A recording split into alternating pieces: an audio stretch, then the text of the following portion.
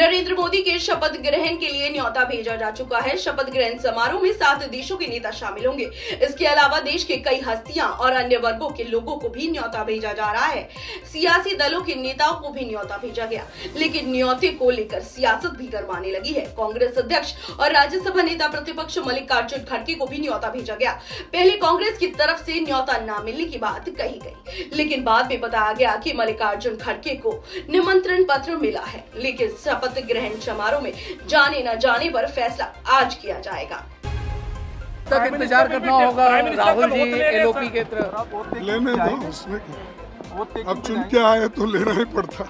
दरअसल न्योते को लेकर सियासी बयानबाजी की शुरुआत कांग्रेस सचिव जयराम रमेश ने की। जयराम रमेश के मुताबिक पीएम के साथ शपथ ग्रहण समारोह के लिए कांग्रेस नेता को न्योता नहीं दिया गया है। सारे निमंत्रण अंतर्राष्ट्रीय नेताओं को जा जिस व्यक्ति का शपथ ग्रहण हो रहा है, उन्होंने अपनी व्यक्तिगत, राजनीतिक और नैतिक अधिकार खो लिया है।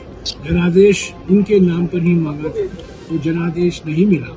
हम समझ, हमें समझ में नहीं आता कि कैसे ये शपथ ग्रहण का तमाशा रचा।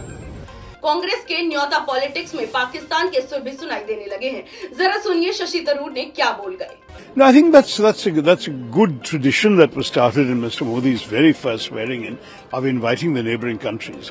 But this time there's one less. He's not invited Pakistan. Uh, so again, that also sends a signal. Politics में ममता बनर्जी भी कूद पड़ी हैं। उन्होंने साफ़ कर दिया, नरेंद्र मोदी के शपथ ग्रहण में उनकी पार्टी का कोई नेता शामिल नहीं होगा। न्योता पॉलिटिक्स से पहले दिल्ली में पीएम पीएम का खेल भी जारी रहा। एक तरफ़ नरेंद्र मोदी की शपथ की तैयारियाँ चल रही हैं। पीएम तीसरी बार पीएम बनने की तैयारी कर रहे हैं। उसी बीच जेडीयू नेता केसी त्यागी से ये कहकर सभी को चौंका दिया कि चुनाव नतीजों के बाद इंडिया गठबंधन ने नीतीश कुमार को पीएम पद का ऑफ़र दिया था। सच बात तो ये है कि जो नीतीश कुमार जी को संयोजक पद के लिए तैयार नहीं थे, वो अब उनको प्रधानमंत्री के ऑफ़र दे रहे हैं। यद्यपि ऐसी किसी भी प्रस्ताव को हम रिजेक्ट कर चुके हैं। इंडी गठबंधन के कई नेताओं ने ये प्रस्ताव दिया है कि अगर नीतीश कुमार जी को हम प्रधानमंत्री बनाने